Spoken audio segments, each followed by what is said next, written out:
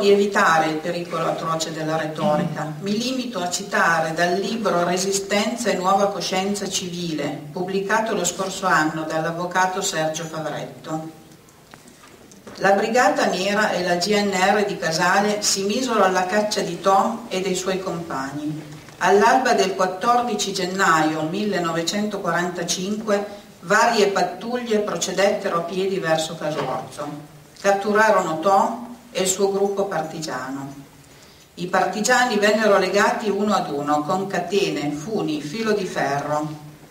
Dovettero percorrere a piedi sulla neve 10 chilometri dall'abitato di Casorzo al molino della Valle Genza. Qui vennero caricati sui mezzi dei nazifascisti e portati a Casale, nelle carceri. Dopo ore di interrogatorio, torture e violenze, vennero nuovamente legati e costretti a sfilare per le vie della città, a piedi nudi sulla neve. Lungo via Roma i fascisti li indicavano allo spregio dei passanti. Al collo di Tom fu posto un cartello con la scritta Ecco i leoni di Tom. Era domenica. Passarono la notte ancora in carcere. A Tom non fu permesso di salutare la mamma, pure lei in carcere.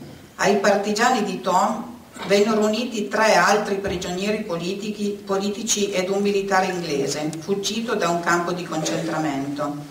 I nazifascisti impedirono che padre Angelo Allara, superiore di casa della missione, portasse loro i conforti religiosi.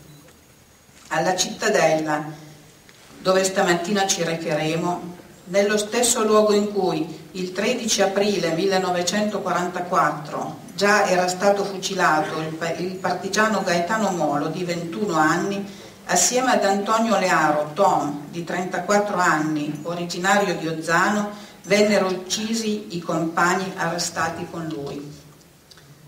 Augino Giuseppe. Ringrazio infine tutti coloro che, con iniziative attinenti al loro ruolo ed impegno, si sono attivati per stigmatizzare gruppi razzisti, negazionisti dell'olocausto e inneggianti al nazifascismo, dai parlamentari ai giornalisti, dai rappresentanti dei partiti ai membri della comunità ebraica, fino ai giovani che organizzarono spontanee manifestazioni di dissenso.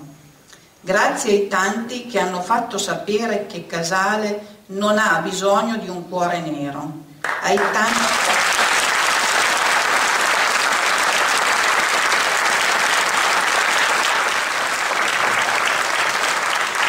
ai tanti che desiderano la riconciliazione nazionale ma non possono perdonare chi non chiede perdono perché crede di essere nel giusto quando predica violenza e odio razionale.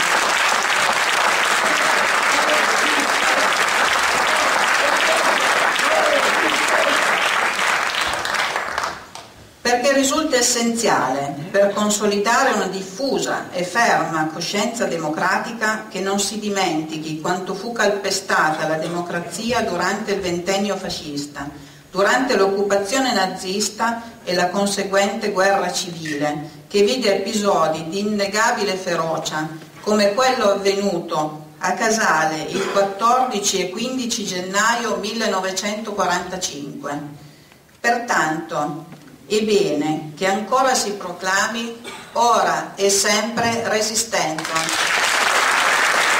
Credo che sia importantissimo che in questo Paese, e non è quindi una celebrazione retorica la nostra, che sia importantissimo in questo Paese rievocare il senso generale di quella che è stata la resistenza di quella che è stata la lotta contro i totalitarismi nazista e fascista. Quei, bene, io credo che noi dobbiamo tenere presente per capirla questa vicenda italiana, che l'Italia nei sei anni circa in cui durò la seconda guerra, la seconda guerra mondiale, per quattro di questi sei anni fu l'alleato più fedele della Germania.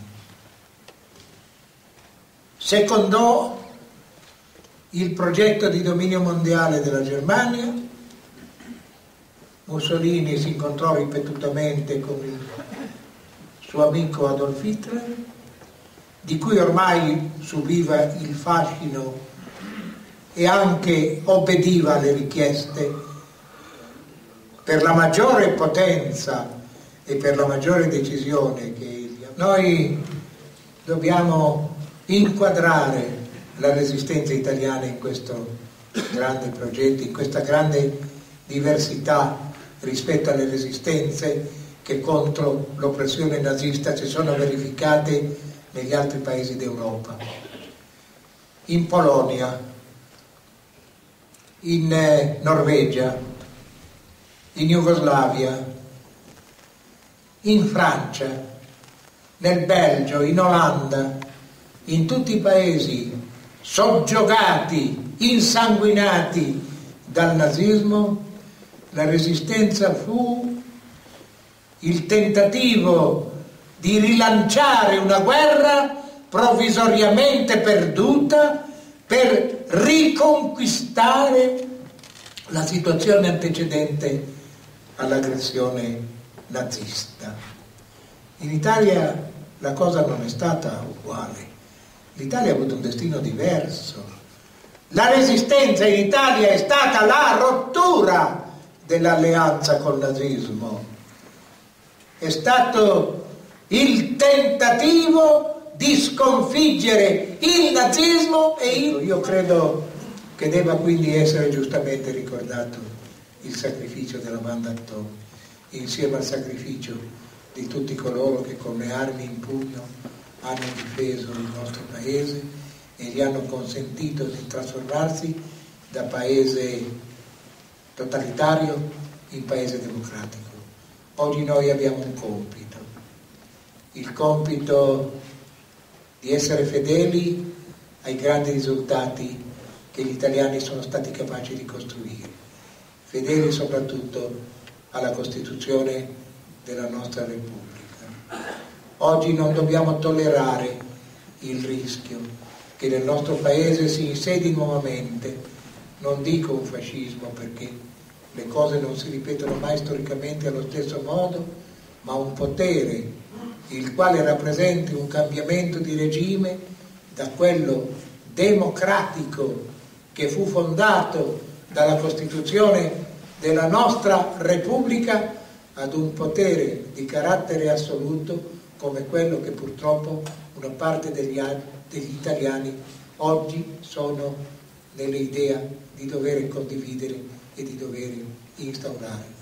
Questo è il compito, questa è la linea, questa è la fedeltà alla propria storia che l'AMPI indica non soltanto a noi che ormai siamo alla fine del nostro percorso umano, ma soprattutto ai giovani nelle cui mani sta il presente e il futuro del nostro Paese.